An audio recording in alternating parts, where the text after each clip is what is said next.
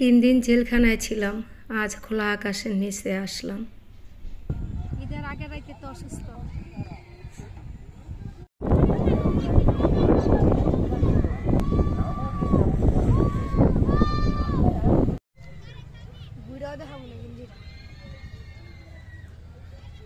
মিষ্টি? আমাদের চুক্কা লাগে? হুম।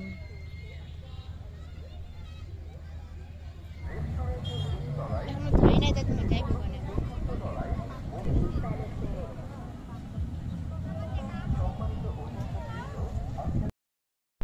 আপু ভাইয়ারা, কালকে পোস্টে বলছিলাম যে আমি অসুস্থ ছিলাম। তিনটা চারটা ভিডিও আগের ছিল, এই জন্য ছাড়তে পারছি।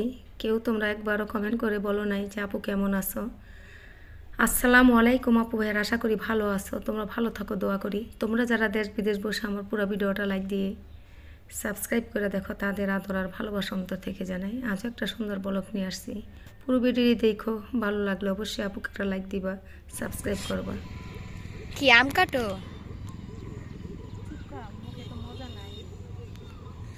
শরীরের অবস্থা তোমার অনেক খারাপ। সবাই আমার দাদির জন্য দোয়া করবেন। তিন দিন ধরে অসুস্থ শুয়ে রয়েছিল তিন দিন অসুস্থ ছিলাম মা থাকলে কপালে হাত দেয় স্বামী থাকলে ট্রিটমেন্ট মা ছাড়া দুনিয়াতে মানুষের বাঁচা একদম মুশকিল হয়। তিন দিন বিছানায় পড়ে রয়েছি মা অন্তত। জিজ্ঞেস করতো যে মা তুমি কেমন আছো?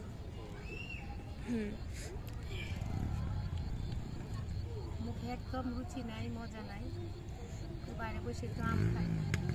দুপুরে তিন দিন পরে এত কটা ভাত খাইছি খালি ডালের বড়া দিয়ে। চিনি মাছ ডালের বড়া বানাইছি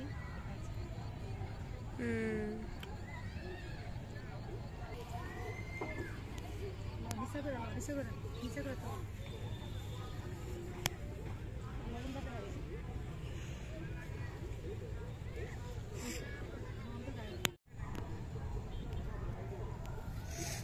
কি লবণ দিয়ে মাখাই খাইতেছ?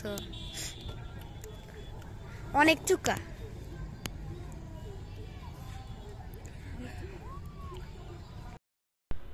অনেক বৃষ্টি কিন্তু এই মুহূর্তে হয়েছে তা আবারও বৃষ্টি আসবে।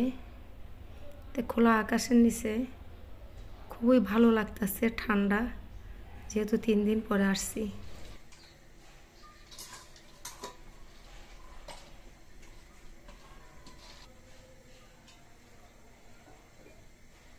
안 구한 거야.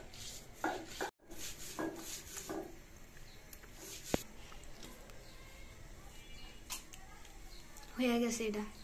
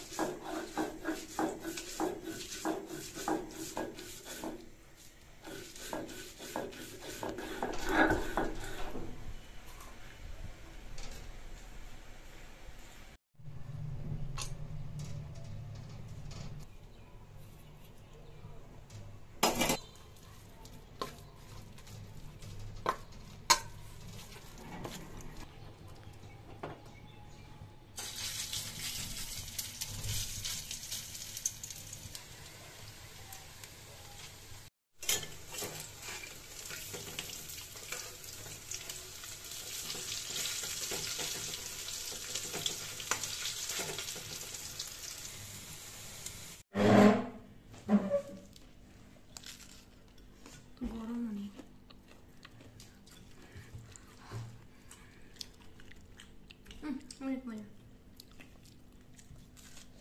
ভাবনা খাইয়া দেহ অনেক মজা। মসমসা ফাটা ফাটি